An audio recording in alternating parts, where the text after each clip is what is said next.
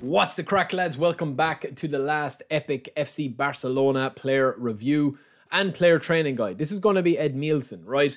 Bit disappointing, lads. Bit disappointing. He's thrown in with the big dogs, Neymar and Romario, two end game top five players in the game and excellent versions of those cards. Neymar and Romario. We've already covered a training guide for Neymar and Romario check them out because you don't want to train these guys wrong. Trust me. The way the training works now with the new gameplay kind of tweaks that people have been starting to notice with you know the change in the meta, it's gone from kind of like quick counter and stuff. There is a lot of different ways to train Mario Neymar, so make sure and check those out. Um, if you want to crack on with Romario Neymar, if you get those in spins, right? They are really good players. Edmilson, not so much, right? There's a couple of things to like about Edmilson.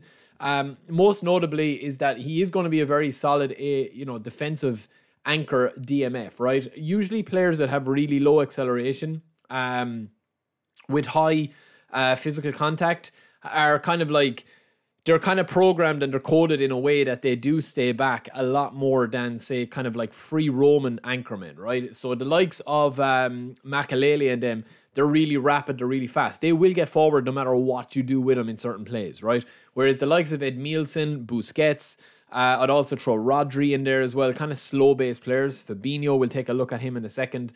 Um, they are more likely to stay back, right? So I'm not going to spend too much time on Edmilson.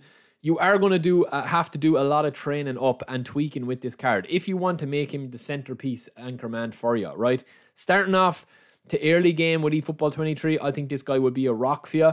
But as you go up the divisions and as you come up against better squads, this guy is not going to cut the mustard, lads. He's not going to be able to to to dominate defensively for you. Now I know that he will play well because the players that they've been adding recently have been playing way above their stats, and this guy will be no um, no exception to that. But I do think that the B rating, obviously with the unwavering form, is going to be good as well.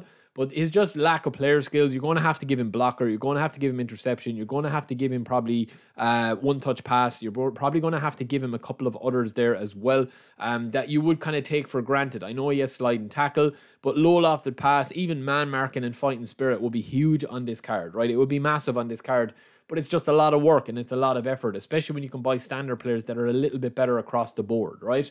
So we are going to take a look at him over on eFootball DB. These are his this is his base card, 81 with 31 levels to go.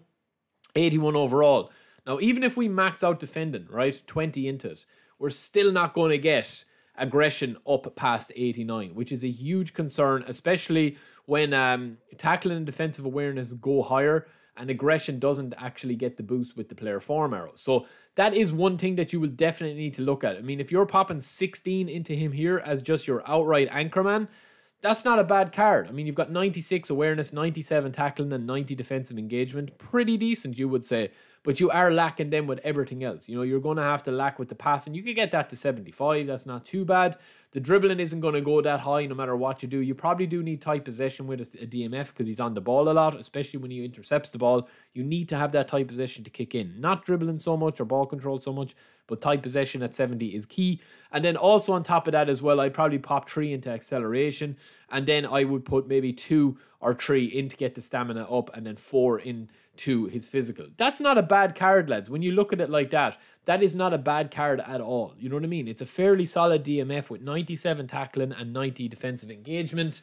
I think a slightly better version of him is a more rounded kind of CMF type uh, anchorman, right? So I would be playing a double anchorman and then a double, like I would be playing a 3 5 2 formation with Edmilson as one anchorman and then maybe somebody else as your other anchorman, and then a box to box kind of CMF, AMF whole player maybe, or else a box to box.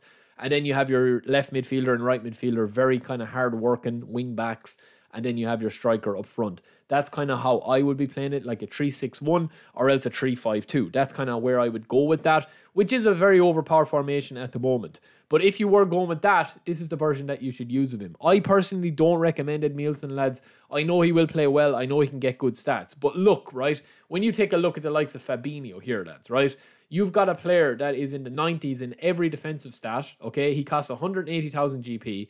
He's got every player skill that you could possibly want apart from blocker, okay?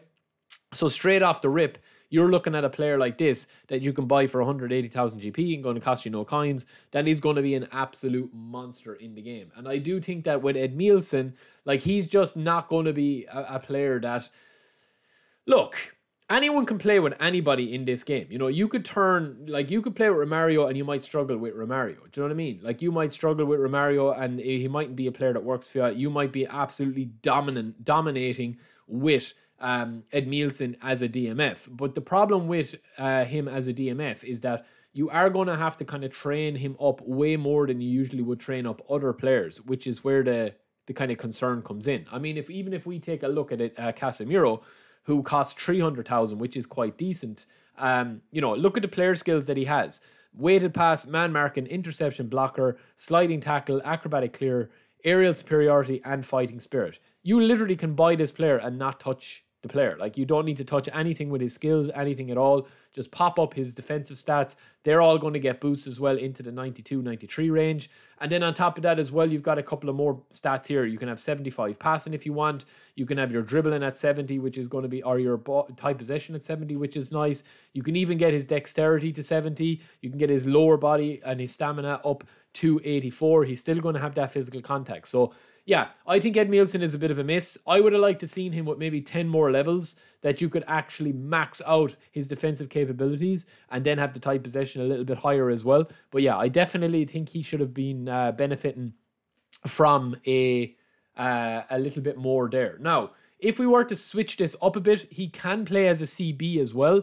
And I think when you train him as a CB, it's slightly different because you've got the defensive stats, the aggression and the defensive awareness don't come into it as much. So with this version of him here, we'd just be maxing out his stuff there. You still have 70 acceleration, um, a little bit lacking in the air with this one, obviously. So you could just take this, take this, and then obviously you could pump these up into aerial ability to have 84 heading. That's a pretty decent centre back. He goes to a 98 overall as a centre back there.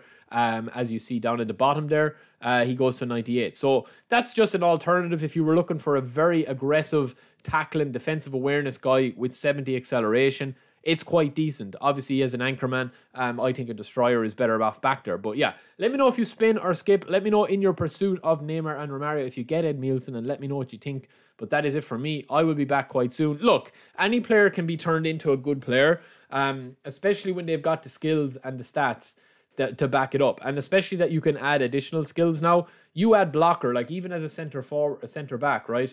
You add blocker to this version of him with 90 engagement, 96 awareness, and 97 tackling, with 71 acceleration and 86 jump, 81 stamina, quite decent. You don't even need that stamina that high, and you could pop in a few more to defense if you wanted to, or aerial strength if you wanted to as well, um, to get it up to 87, and maybe pop one more in there. If you're looking for a center back. If you were to go that route and get blocker and interception on him, and aerial superiority, and you know heading you would have a monster CB that would kind of change things up a bit. That could still bring the ball forward. So that is it for me, lads. I'll be back soon. Don't forget to subscribe, and I'll see you later. Peace.